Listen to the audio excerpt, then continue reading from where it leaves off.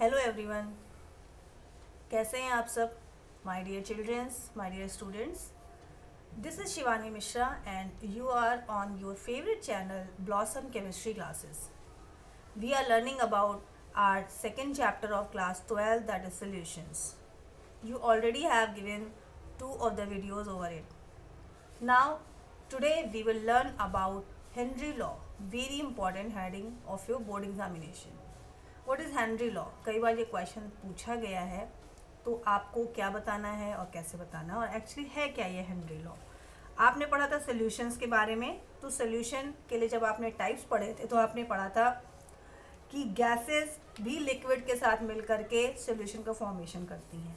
तो वो सोल्यूशंस जिसमें गैसेस एक्ट करती हैं as a solute and liquids होते हैं एज अ सॉल्वेंट यानी लिक्विड में कोई गैस मिक्स हो।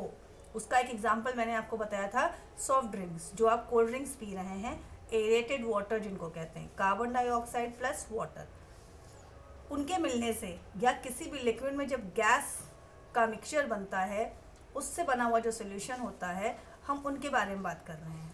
कोई भी गैस जब किसी लिक्विड में मिक्स होती है, उसमें जो एक इंपॉर्टेंट फैक्टर होता है, वो फैक्टर होता है pressure pressure is very important thing very important factor which actually influence the solubility of the gas in the liquid right तो ये जो सोलिबिलिटी है, ये जो प्रेशर का अफेक्ट है, ये हमें बताया था हेनरी ने ये जो लॉ है आपका हेनरी लॉ ये आपको बताएगा कि प्रेशर का इफ़ेक्ट क्या पड़ता है जब किसी लिक्विड में किसी गैस का सोल्यूशन बनता है right?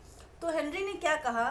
The Henry law states that the solubility of a gas in a liquid किसी भी गैस की लिक्विड में जो सॉल्युबिलिटी होती है इज़ डायरेक्टली प्रोपोर्शनल वो डायरेक्टली प्रोपोर्शनल होती है to the pressure of the gas gas के प्रेशर के over the solution at a definite temperature किसी भी डेफिनेट टेम्परेचर पर सोल्यूशन में किसी भी गैस का अगर लिक्विड में सॉलिबिलिटी होती है तो वो गैस डायरेक्टली प्रोपोर्शनल होती है उसके प्रेशर के।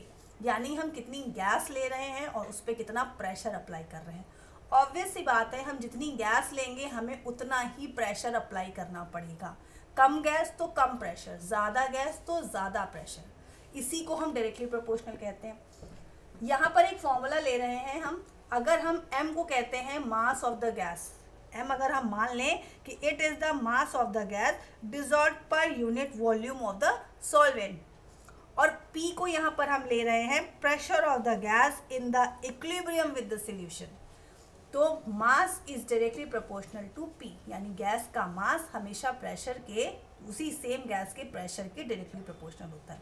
मास कम तो प्रेशर कम मास ज़्यादा तो प्रेशर ज़्यादा। डायरेक्टली प्रोपोर्शनल रिमूव करेंगे we will move to the equal to जब भी डायरेक्टली प्रोपोर्शनल इक्वल टू में कन्वर्ट होता है we will require a constant यहाँ पर हम कांस्टेंट ले रहे हैं K K is here called the proportionality constant right this is all about the Henry law but still अब ये भी बता दूँ आपको कि अगर हमारे पास दो अलग अलग प्रेशर हो या दो अलग अलग गैसेस हो तो यही फॉर्मूला हो जाएगा m one upon m two is equal to P one upon P two right but Henry law की भी कुछ लिमिटेशंस हैं। लिमिटेशंस जो है हेनरी लॉ की एक्चुअली क्या है? Henry law holds good but conditions are required the first thing कि प्रेशर बहुत ज़्यादा नहीं होना चाहिए। गैस मान लीजिए कम है, आपने प्रेशर बहुत लगा दिया। ये गैस लिमिटेड भी है बट आपने स्टिल प्रेशर उससे ज़्यादा लगा लिया तो ऐसा नहीं होना चाहिए।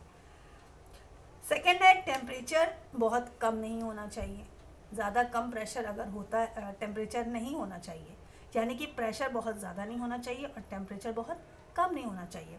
और थर्ड वेरी इंपॉर्टेंट थिंग आप सोल्यूशन की ऑलरेडी डेफिनेशन पढ़ चुके हैं नॉन रिएक्टिंग सब्सटेंसेज यानी जो गैस है और जो आपका लिक्विड है सॉल्वेंट और सॉल्यूट एक दूसरे से रिएक्शन ना करते हों। यानी थर्ड लिमिटेशन हो जाएगी gas does not chemically combine with the solvent right और हैंडलॉ के एप्लीकेशन भी बहुत अच्छे हैं। कार्बोनेटेड बीवरेजेस हैं, जैसे आपके सॉफ्ट ड्रिंक्स हैं, या फिर डी सी डाइविंग है, या फिर हाई एल्टीट्यूड पर सिकनेस है। इन सारी चीज़ों के लिए भी हेनरी लॉ का ही यूज़ किया जाता है राइट तो this is all about the Henry law मिलेंगे आपको नेक्स्ट वीडियो में। टिल देन चिल्ड्रेन अगर आपको वीडियो अच्छा लगा तो please do like and share the video thank you everyone